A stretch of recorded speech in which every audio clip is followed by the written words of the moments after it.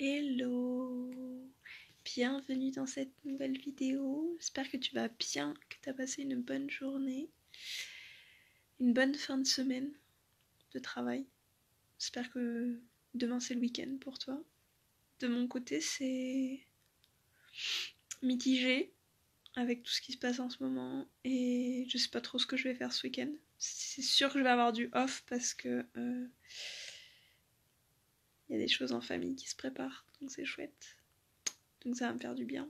Ça va me changer les idées de cette semaine tout à fait pourrie. Euh, espérons que ça m'amène des réponses à pourquoi j'ai traversé tout ce que je viens de traverser cette semaine. Et hum, je vais prendre le temps de laisser reposer tout ce qui est arrivé et d'envoyer, de méditer, d'envoyer beaucoup, beaucoup, beaucoup, beaucoup de d'amour dans dans ce monde qui en a beaucoup besoin, vu qu'on est en 2022 et que c'est le carnage. Et à mon échelle, c'est la seule chose que je peux faire.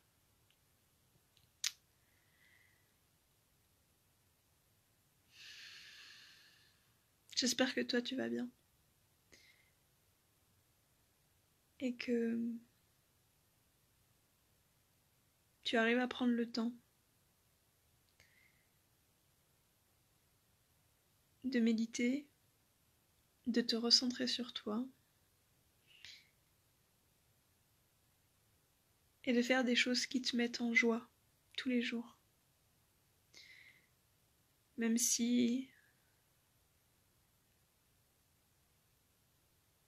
Même si le monde fait peur,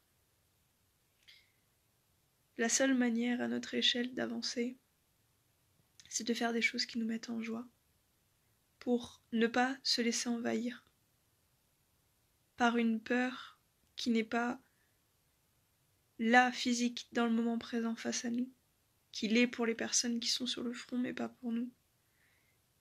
Et la seule chose qu'on peut faire, c'est continuer à vivre. Se battre, de façon non violente et partager de l'amour avec ses proches, partager des moments de qualité avec ses proches et avec soi-même.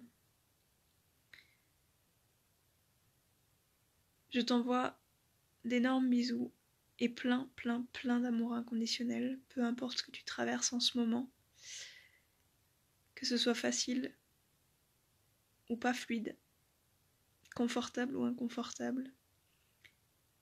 Tu vas t'en sortir. On va réussir. À demain pour une prochaine vidéo.